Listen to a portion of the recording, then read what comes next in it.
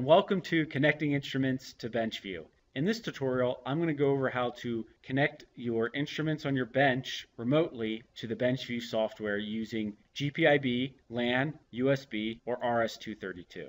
If you refer to the bottom of the screen to what we call the instrument panel, you can see I already have one instrument connected to BenchVue, and that is a DMM connected over GPIB. Now I know it's connected because I can see the green check mark. When you first open up BenchVue, any USB or GPIB instruments that you have connected to your PC will automatically be detected and added to the instrument panel so they're ready to use.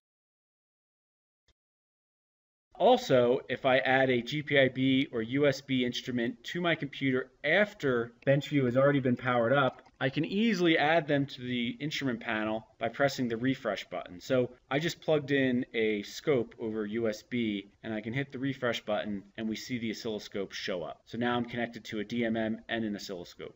Now for LAN and RS-232, to add them to BenchVue, we need to use a VISA configurator, which I'll demonstrate. Then once we do that, in the future when we open up BenchVue again, they will automatically show up on our instrument panel as long as they're connected to the computer. So let me demonstrate that. If I go over to this I.O. icon, I can open up a VISA configurator on my computer.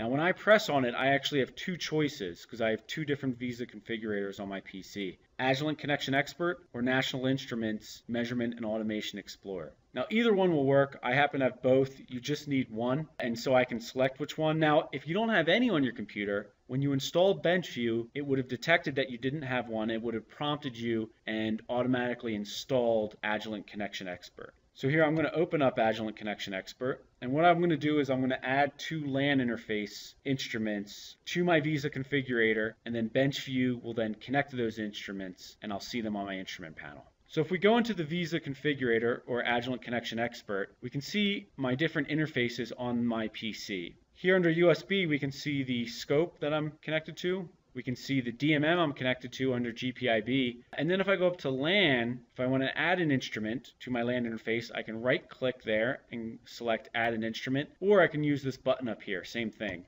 And what this does is it automatically searches my local subnet to see what LAN instruments it detects. Now it detects a signal analyzer and a function generator. It looks like we see multiple instruments because it can use different protocols to connect to those instruments. So the signal analyzer, there's three different choices. For the function generator, there's two different choices. I'm going to select the LXI interface for the function generator.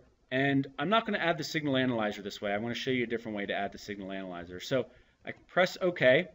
I now am connected through my VISA configurator. Uh, I now have the function generator added. If I want to add the signal analyzer, let's say that I have a very long list of instruments that are connected over LAN and I don't want to scroll through them.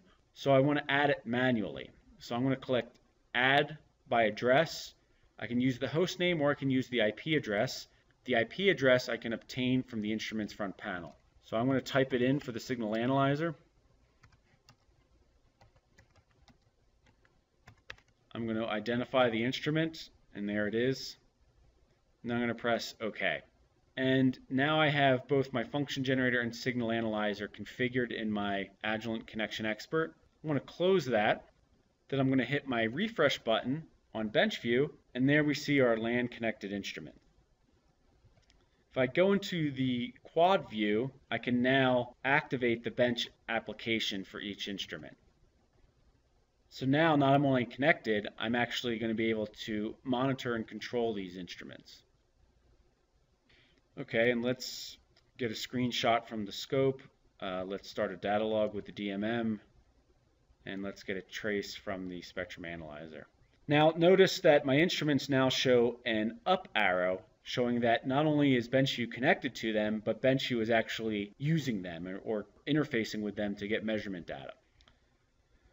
If I right click on one of these instruments, I can get information about its connection, I can get its firmware, I can get uh, its address. I can also refresh the instrument. If I shut down one of my bench apps, let's say the function generator, let's say I have too many instruments on my instrument panel, I want to hide some.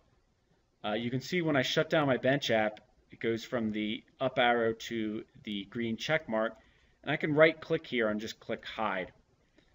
and it'll remove it from my instrument panel and puts it in this area where there's an instrument icon. So if I wanted to, I could then bring it back later if I wanted to.